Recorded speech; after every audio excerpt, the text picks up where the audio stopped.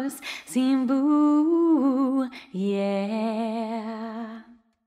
One happy birthday dot com.